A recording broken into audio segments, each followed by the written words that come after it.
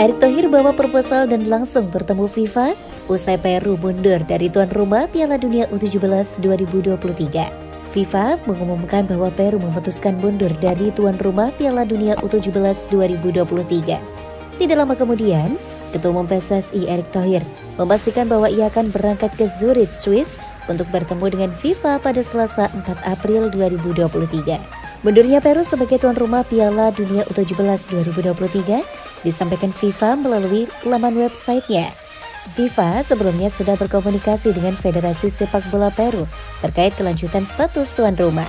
FPF menyampaikan kepada FIFA bahwa mereka tidak mampu memenuhi komitmennya untuk melengkapi infrastruktur yang dibutuhkan untuk menggelar Piala Dunia U17 2023. FPF tidak cukup waktu untuk mengamankan investasi yang diperlukan dengan pemerintah Peru sebelum turnamen itu digelar.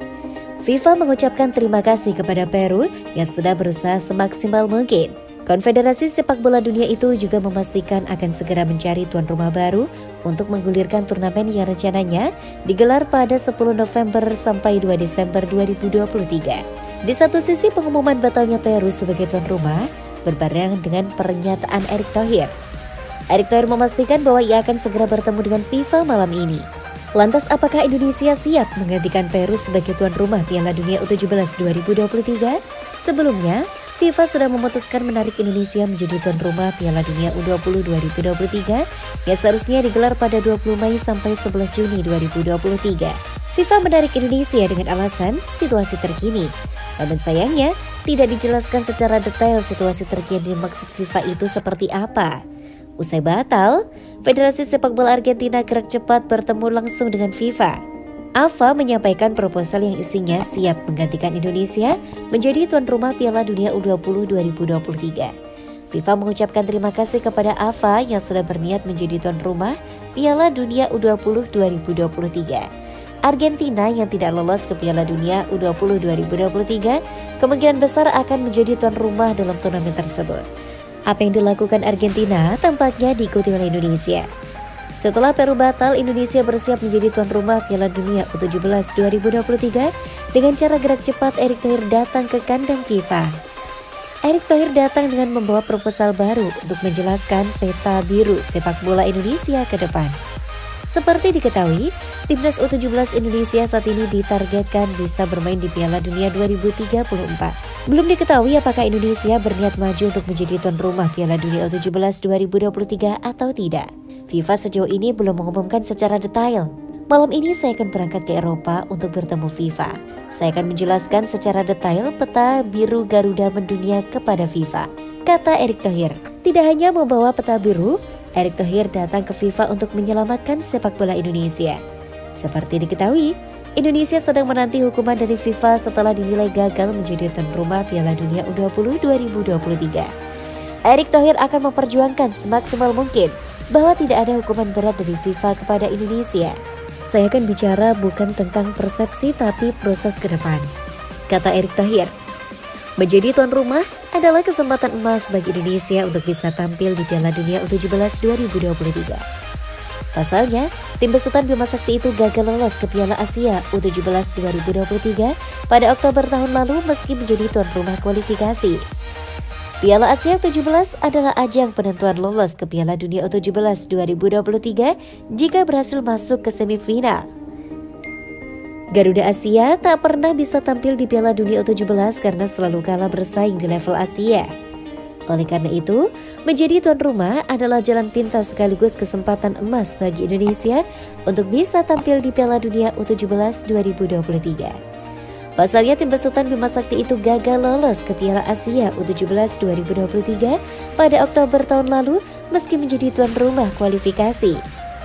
Piala Asia U17 adalah ajang penentuan lolos ke Piala Dunia U17 2023 jika berhasil masuk ke semifinal.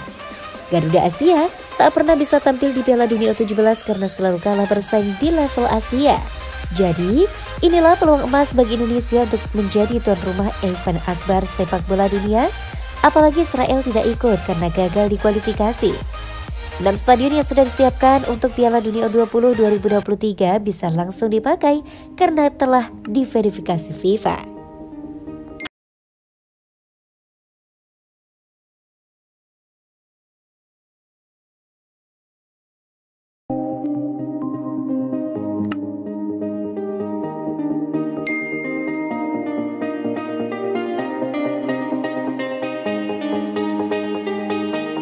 Target terdekat Sandy Walsh di timnas Indonesia debut bersama Garuda pada FIFA Matchday Juni Pemain naturalisasi Sandy Walsh berharap bisa kembali ke Indonesia pada Juni dalam FIFA Matchday. Sandy Walsh setelah mendapatkan status sebagai warga negara Indonesia belum mendapatkan kesempatan untuk bermain bersama tim nasional. Ia pun berharap bisa membela timnas Indonesia pada FIFA Matchday Juni 2023. Mungkin pada bulan Juni, FIFA Matchday Juni itu tujuanku. Kata Sandy Walsh dilansir bola.com dari YouTube pribadinya. Saya memiliki pertandingan penting di Cafe Misalin final piala, dan setelah itu saya bekerja keras untuk siap menghadapi pertandingan di bulan Juni. Jadi saya harap saya akan bertemu Anda di sana. Ujarnya. Pada FIFA Matchday Juni nanti, rencananya timnas Indonesia akan melawan Palestina. Sunny Walsh mendapatkan kewarganegaraan Indonesia pada 17 November 2022. Ia belum bisa bergabung dengan timnas Indonesia di Piala AFF 2022. Piala AFF 2022 saat itu digelar tidak masuk dalam kalender resmi FIFA. Karena itu, Sandy Walsh terpaksa absen lantaran klub berhak tidak melepas pemainnya. Sandy Walsh sendiri memang menjadi salah satu pemain penting Cafe Miseli di Liga Belgia. Ia tampil reguler bersama Cafe Miselin. Pada Liga Belgia musim 2022-2023, Sandy Walsh sudah mencatatkan 22 penampilan dengan 1960 menit bermain. Ia sudah menyumbangkan dua gol dan dua assist. Sandy Walsh juga belum berkesempatan membela timnas Indonesia pada FIFA Matchday Maret 2023 melawan Burundi.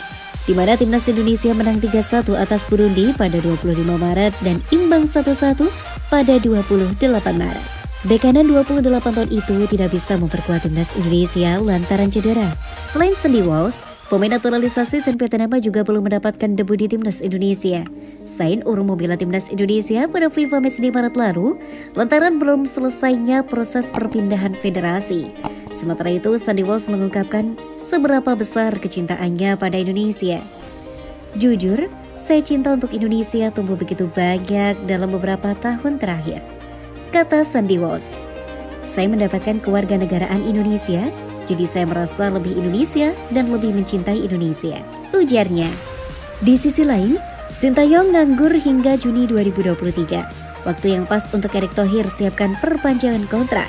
Pelatih timnas Indonesia, Sintayong memastikan tidak ada agenda lagi hingga Juni 2023 pasca batalnya Indonesia berlaga di Piala Dunia 20 2023. Pembatalan status Indonesia sebagai tuan rumah Piala Dunia U20 2023 membuat Sintayong kini juga tidak ada agenda lagi dalam waktu dekat. Timnas U20 Indonesia yang gagal mentas di Piala Dunia U20 2023 juga sudah dibubarkan pada Sabtu 1 April 2023. Kini Sintayong hanya punya agenda untuk timnas Indonesia senior yang terdekat hanya untuk menjalani FIFA Matchday pada Juni 2023. Sementara timnas U22 Indonesia meraih sesuai rencana akan tetap dipimpin oleh Indra Safri di SEA Games 2023. Memang kemarin bentrok ya SEA Games sama Piala Dunia 20, jadi mau tidak mau tidak bisa pegang keduanya, kata Sintayong. Jadi, sekarang Coach Indra yang pegang timnas U22 dan memang tidak ada jadwal apa-apa sampai 10 Juni 2023. Jadi memang harus dipikirkan agenda selanjutnya apa. Tambahnya, pada Juni 2023, Indonesia berencana lawan Palestina di FIFA Matchday. Saat itu juga bisa jadi waktu yang tepat PSSI memperpanjang kontrak Sintayong. Perlu diketahui, kontrak pelatih asal Korea Selatan itu berakhir pada Desember 2023. Pada Juni 2023, Sintayong menyisakan enam bulan dan hal itu jadi waktu yang tepat untuk mengumumkan kontrak barunya. Sintayong sendiri mengindikasikan akan tetap bertahan bersama timnas Indonesia. Ia pun ingin bertemu Erick Thohir untuk membahas masa depannya. Memang akan lanjut terus ya sampai akhir tahun ini, ucap Sintayong. Karena memang kontraknya seperti itu. Dan mungkin sekarang-sekarang ini harus bertemu dengan Pak Erick Thohir untuk membicarakan masa depan saya. Tambahnya, Pasca gagal mentas di Piala Dunia U20 2023, Sintayong sendiri berambisi membawa timnas Indonesia senior lolos Piala Dunia 2026. Sintayong melihat peluang tersebut karena Piala Dunia 2026 akan menambah pesertanya menjadi 48 peserta. Setelah ini akan fokus ke senior untuk FIFA Matchday dan Piala Asia. Kata Sintayong, saya akan mempersiapkan tim senior agar bisa masuk di Piala Dunia ada 8 tiket untuk wakil Asia. Saya akan berusaha mencetak sejarah. Tambahnya,